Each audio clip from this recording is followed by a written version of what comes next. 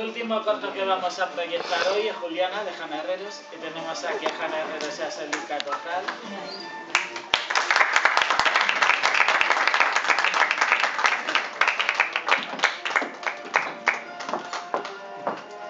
Hola, buenas noches. Qué alegría.